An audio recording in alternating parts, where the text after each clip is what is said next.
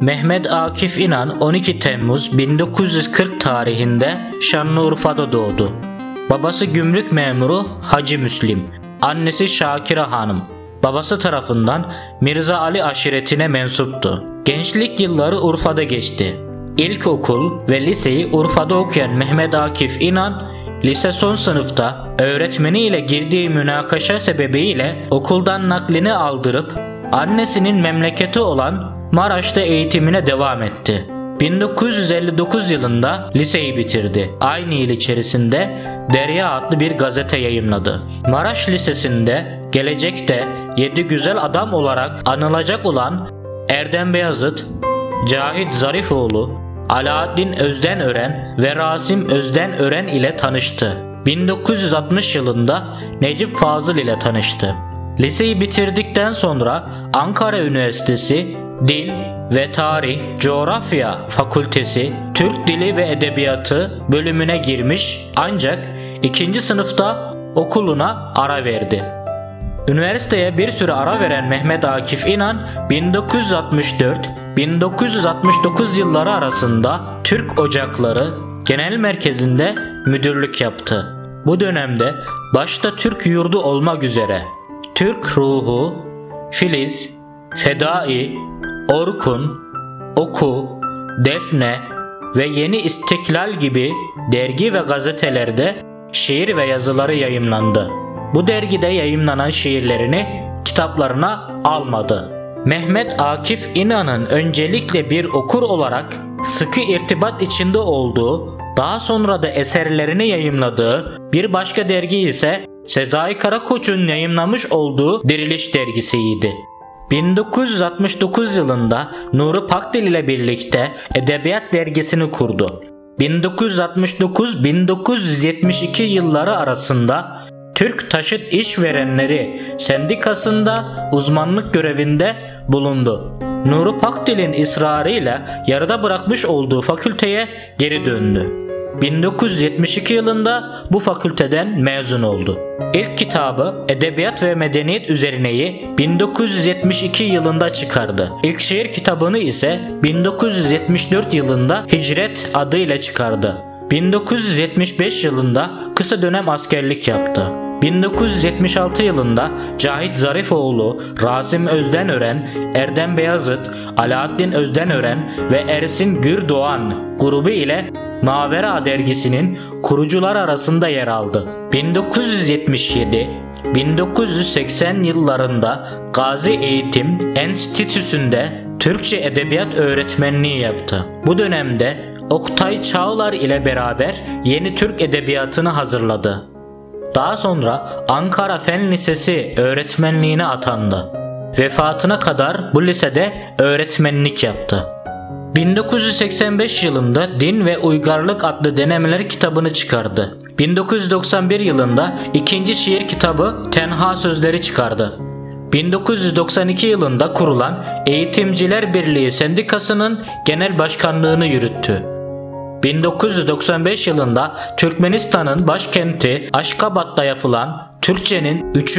Uluslararası Şiir Şöleni'nde kendisine Türkmenistan'ın ünlü şair Mahdum Kulu şiir ödülü verildi. Yeni Devir gazetesinde Akif Reha imzası ve kendi adıyla yazdığı köşe yazılarıyla tanınan Mehmet Akif İnan 1998 yılında Kanal 7'de kültür ve sanat programı hazırlayıp sundu. Aynı yıl içerisinde divan ve halk şiiri geleneğinden yararlandığı şiirleriyle kendi kuşağının usta şairleri arasında gösterildi. 1995 yılında kurulan Memur Sen Konfederasyonu'nun kurucu genel başkanıydı. Bu görevini 2000 yılına kadar sürdürdü. Her eylem yeniden diriltir beni. Nehirler düşlerim göl kenarında diyen Mehmet Akif İnan lafazan değil samimi ve kararlı duruşuyla bir eylem adamıydı.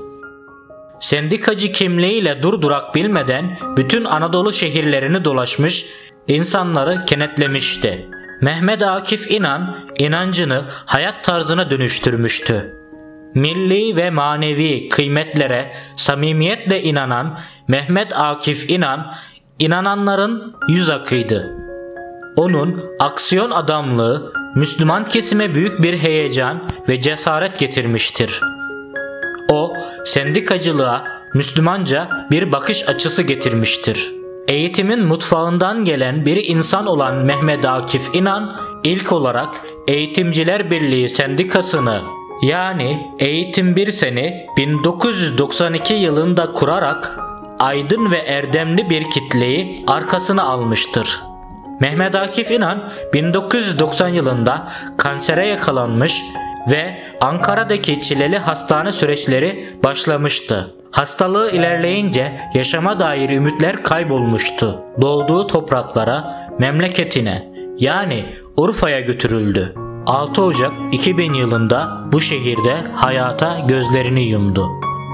Mehmet Akif İnan hayatı boyunca Hicret ve Tenha Sözler adıyla sadece iki şiir kitabı çıkarmıştır. 1974 yılında yayımladığı ilk şiir kitabı olan Hicret ile 1994 yılında yayımladığı Tenha Sözler arasında tam 17 sene vardır. Bu durum onun şiir işçiliğindeki titizliğini ve hassasiyetini gösterir. Modern zamanların dervişi diyebileceğimiz Mehmet Akif İnan, edebiyat ve tasavvufla iç içe yaşayan bir münevverdi. Onun şiirlerinde tasavvufun derin izlerini bulmak mümkündür. Yepyeni bir imge evreni kuran Mehmet Akif İnan'ın şiirlerinde daha çok gazel tarzını benimsediğini görürüz. Fakat onun yazdıkları divan edebiyatını taklit değil, onun modern çizgiye oturulmuş şeklidir. Zamanla her şey değişirken o da şiirinin temel dinamiklerini çağın gereklerine uydurmuştur. Böylelikle zamanın gerisinde kalmamıştır. En bilindik şiiri Mescid-i Aksa'dır. Onun kaside şiiri ise ilk şiir kitabı Hicret'te yer alıyor. Bu şiirin kesinlikle okunulması gerektiğini düşünerek burada şiiri okumak istiyorum. O düşlerde kalan şarkılarımı Gözlerin getirir sabahlarıma Hoyrat saçlarıma seslerin rüzgar Papatya düşlerin bahar haberi Aydınlığında yol bulduğum yıldız bin parçadır şimdi derin göklerde. Akşamlar güvercin gibi gelirdi yeniden güçlenen geçliğimize. Günleri bir nakış gibi örerdin, umut bir zırh gibiydi omuzlarımda. Çağı kurtarmanın bir eylemidir, çağ dışı görülen ilgimiz bizim. Eylül'ün kıyısı son durağımdır, bir adım dönemem.'' Arkam uçurum. Yazma derse yazmam rüya gözlerin bastığın toprağa şiirlerimi. Bozgunlardan çıktım, kan içindeyim, yeni bir savaşa kuşandır beni. Seninle giyinen kurak yılları anarak yaşamak istemiyorum. Ve tekrar yaşamak, tekrar yaşamak, şimşek gibi geçen o saatleri. Bir kurşun yağmuru altında kaldık.'' Anıtı dikilse korkusuzluğun Bu yoksul türküler bitsin diyorum Sana hicret ettim yılgınlıklardan. Göklerde, yollarda Senin adına Yeni bir efsane gelişmektedir. Dinamitler patlar içimde birden Sensiz saatleri hatırlayınca. Bir denizaltıdır şimdi yüreğim Yeryüzü bakışlım Uzat elini İçimde şiirler kaynaşır durur Ellerin aklıma geldiği zaman. Bir hüznü besteler en derin soylu gözlerin O kuşlar şimdi neredeler? Bir çocuk sevinci dolar içime Gözlerin kalbimi elliyor gibi. Ve bir gün anlarsan şiirlerimi Yalar yeryüzünü bir kara haber. Yeni bir ürperiş Her yeni sabah Saçların çevremi kuşatmış gibi Unutmak Denedim onu aylarca Aklımı yollarda sürükleyerek Sensiz bir yerlere taşınmak bir gün. Dünyanın dışına taşınmak bir gün. Dayanır mı kalbim bu heyecana? Dayanmalı kalbim bu heyecana. Bu büyük yükü en eski bir türkü sayarak özenle yaşatır kalbim.''